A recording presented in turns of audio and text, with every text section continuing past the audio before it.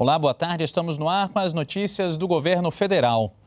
A Secretaria de Comunicação da Presidência da República publicou nota sobre a entrevista do senador Delcídio do Amaral, publicada neste fim de semana. O texto reafirma que o governo nunca interferiu nas investigações da Polícia Federal. O repórter Ricardo Carandina tem outras informações.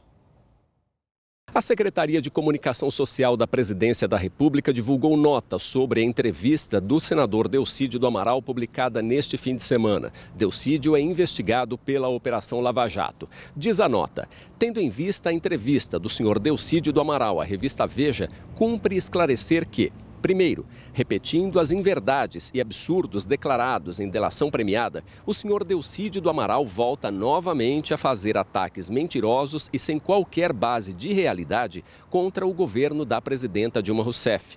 Segue assim a estratégia de vingança contra todos os que não agiram para evitar que fosse mantido preso pela revelação de que tentava obstruir investigações que poderiam prejudicá-lo. Inventa histórias mirabolantes, busca vitimizar se e atribui a outros condutas ilícitas e imorais da exclusiva autoria dele.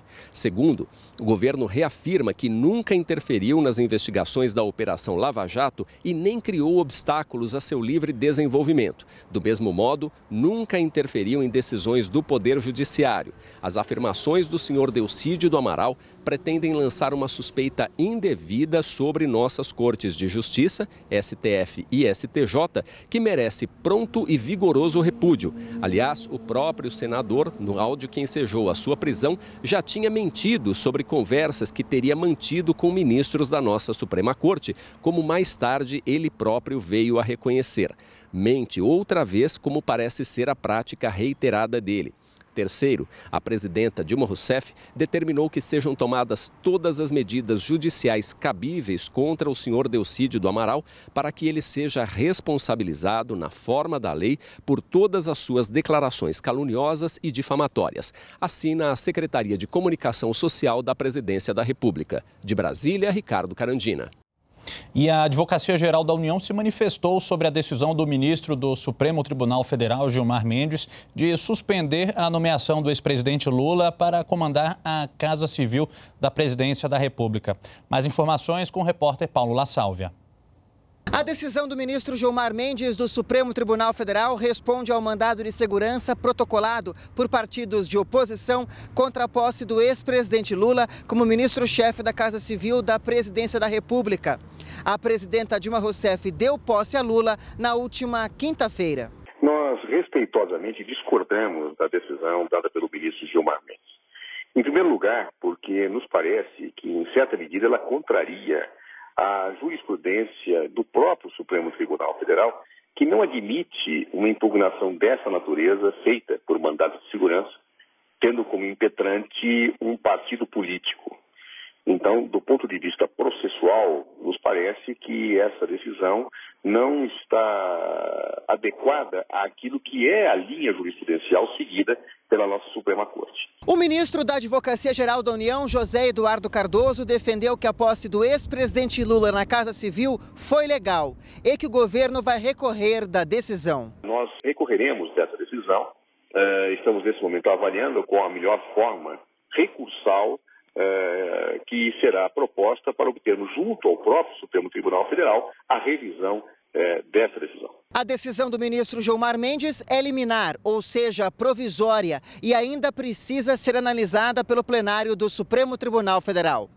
De Brasília, Paulo La Sálvia. O Ministério da Justiça divulgou esta manhã uma nota em que assegura a permanência do diretor-geral da Polícia Federal no cargo. O texto diz o seguinte: o Ministério da Justiça informa que o diretor-geral da Polícia Federal, Leandro Daiello, continua gozando de plena confiança por parte do ministro da Justiça e não há nenhuma decisão sobre a sua substituição.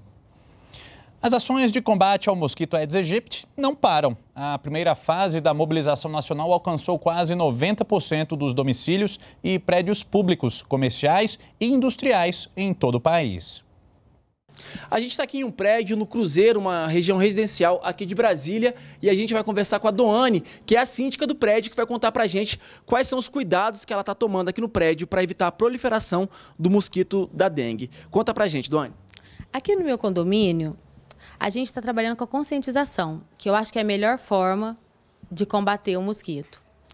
Aqui fizemos o jardim, colocamos essas pedrinhas que evita o acúmulo da água. Também reformamos o telhado, onde colocamos uma calha que, que dá melhor vazão à água. Você também vem conversando com os moradores para explicar para eles como eles devem tomar cuidado? Olha, aqui eu mando o zelador é, entregar os panfletinhos de conscientização. Faço campanha, coloco avisos no, nas áreas comuns. É um trabalho assim de todos, né? Isso, tem que ter o envolvimento de todos, porque a síndica sozinha não tem como fazer tudo. Então é um conjunto. Aqui os condôminos, todo mundo participa, todo mundo tem a consciência que tem que é, brigar, lutar, entrar nessa briga contra o mosquito. E todo mundo aqui está interagindo super bem. Tem algum caso aqui no prédio ou não? Não, no nosso prédio, graças a Deus, sem nenhum caso de dengue. Ok, muito obrigado, Anne. E lembrando que todas as informações sobre como combater o, a proliferação do mosquito da dengue está disponível na internet. De Brasília, Leandro Alarcon. Saúde.gov.br você encontra todas essas informações. Parabéns para a Doane. E o Ministério da Saúde acaba de liberar 4 milhões e 800 mil reais para custear testes rápidos de gravidez por meio do SUS, o Sistema Único de Saúde, em todo o país. A ação reforça a atenção e o cuidado do governo federal com as mulheres gestantes que vivem nos 5.500 municípios participantes da Rede Cegonha. De olho nos casos de microcefalia, o governo acredita que o diagnóstico precoce de gravidez vai facilitar as ações de planejamento reprodutivo com o devido acompanhamento pré-natal, essencial para a qualidade de vida da mãe e da criança. A autorização dos repasses, que serão pagos em parcela única aos gestores locais, foi publicada no Diário Oficial da União de hoje. Nós voltamos a qualquer momento com outras informações. Acompanhe as novidades também em nossas redes sociais twitter.com/tvnbr e facebook.com/tvnbr. Continue com a gente aqui no NBR, a TV do Governo Federal.